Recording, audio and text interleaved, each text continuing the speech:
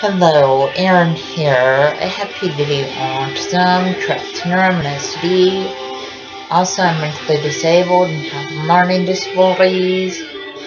I'm first grade level at reading, second grade level at math, and I'm mentally first grade at age. Also, because of medications I take for my mental disabilities, I have a rap therapy, but I take medications for my rap therapy.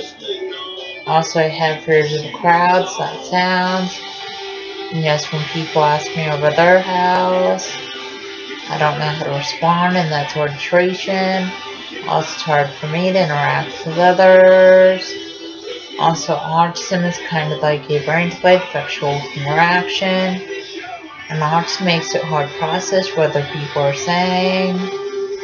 Also, autism makes it hard to process other people hugging, kissing, and arts makes it hard process other people holding hands.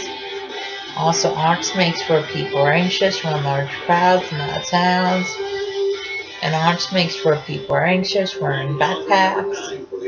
Also, just like now, the signs of autism are lack show skills, lack of eye contact, lack of speech, lack of communication.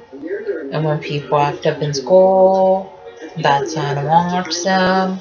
Also, when people have low grades in school, that's sign of autism.